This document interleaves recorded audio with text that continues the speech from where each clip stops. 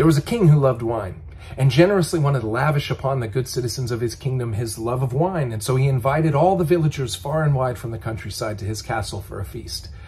And so the banquet hall was filled on feast day with friends and strangers alike, everybody eagerly awaiting to taste the king's prized wine. As he asked the, as the king asked the, the good citizens to have a seat around the banquet hall table, uh, he began to pour wine, uh, but he poisoned a few glasses along the way. Some of the citizenry noticed this and uh, asked the king why he was poisoning the cups. And he said, this is essential that everybody enjoy the wine as is, whether it's poisoned or not. And of course, as you can imagine, uh, his kingdom lost a few citizens that day. This is who Elon Musk is as a free speech absolutist.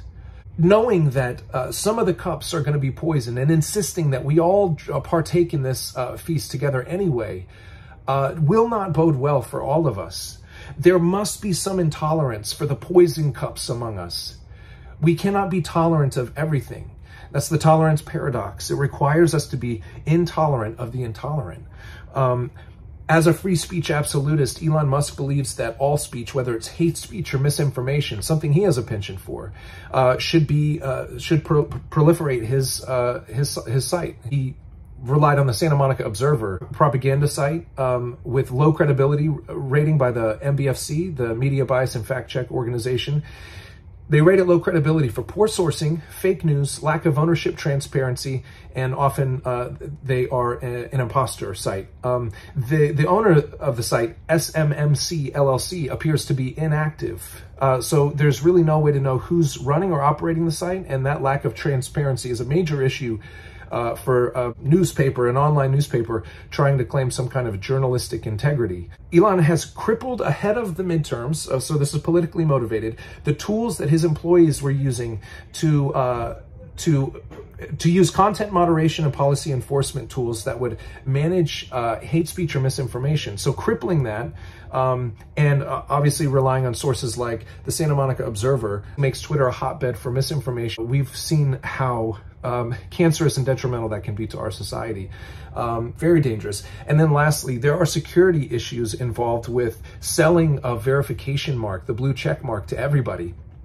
Already, I live in a world where many people are uh, are, are, cons or frauds, and they are um, uh, using my identity to, to to seek people's affection or their money or whatever the scam is.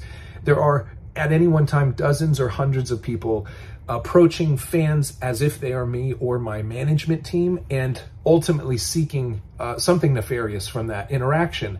And uh, it's difficult for people to suss out who they're talking to, even with uh, verification on Twitter and Instagram. When those imposter identities can buy the blue check mark, it's going to be infinitely harder for people to understand who they're dealing with. It is a security concern for people like myself. Um, I, as much as anybody want fairness, I want to live in a world where everybody is a valued customer or VIP or has a blue check mark. But there are, when it comes to this, with, with the anonymity that's prevalent in the online community, this is a danger to people like myself and to those who would be on the receiving end of some scam um, or some nefarious interactions. For that and several other reasons, I'm deleting my Twitter and I would encourage you to as well.